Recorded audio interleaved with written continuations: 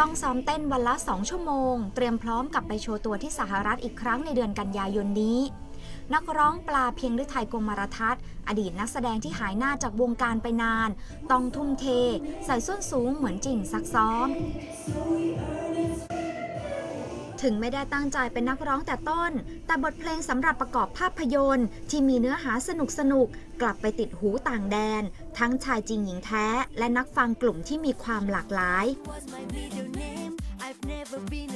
นอกจากฉายา blah blah blah ที่ฟังแล้วติดหู โปรดิวเซอร์ดังสตีเวนสกายเลอร์ อดีตนักร้องวงโอโซน ยังวางหมากโปรโมทสาวเอเชีย ด้วยลุคที่แตกต่าง เป็นก้าวใหม่ที่ท้าทายนักร้องหญิงด้วยความที่เราเป็นคนไทยทำให้เราดูแตกต่างทำให้เขาสนใจเรามากมากมากกว่า คนที่นู่นด้วยซ้ำนะคะ ไม่ว่าเราไปไหนทำอะไรเขาจะดูเพราะเราเหมือนของแปลก เหมือนของแปลกของเขาอะค่ะ ก็ได้ความสนใจโดยเฉพาะกับชื่อด้วย ถ้างานของเราเนี่ยคนฟังแล้วเขาชอบนะคะเขาไม่แคร์หรอกว่าอายุเท่าไหร่ยังไงนะคะ เพราะว่าจริงๆแล้วนักร้องดังๆ อย่างเจนนิเฟอร์โลเปสก็ไม่เด็กแล้วนะคะเขาก็อายุ ใช่ก็มีแบบขึ้นเลข4กันแล้วนะคะ ซึ่งแล้วจริงๆแล้วอาจจะเป็นเพราะว่าเราเป็นคนเอเชียด้วย ไปอยู่ที่นู่นเนี่ยเขาจะดูเราเด็กมาก ใช่บางคนเนี่ยคิดว่าเราอายุ20 กว่าซึ่งแบบโอ้ยดีมากเลยชอบ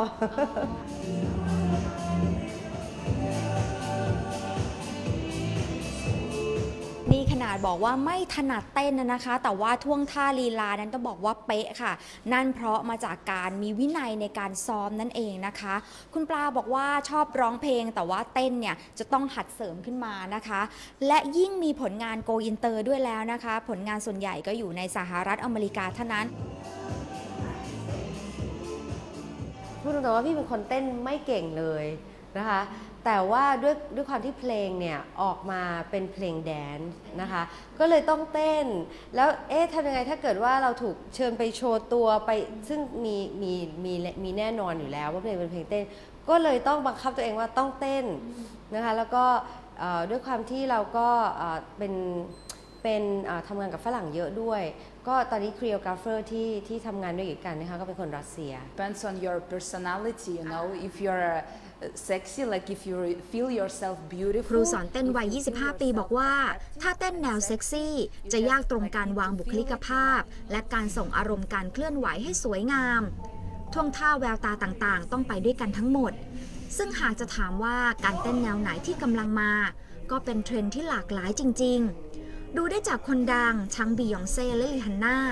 ท่าเต้นก็จะเวียนตามวัฏจักรทั้งฮิปฮอป contemporary และพ็อปแดนซ์ So what type of music do you do? Uh, my, my music is a pop dance. เทคนิคแจ้งเกิดคือการใช้คนดังร่วมดันกระแส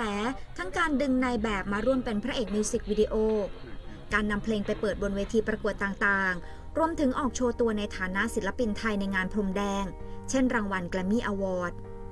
และปีที่แล้วยังมีผลงานขึ้นโปรโมทบนบิลบอร์ดย่านไทม์สแควร์ในนิวยอร์ก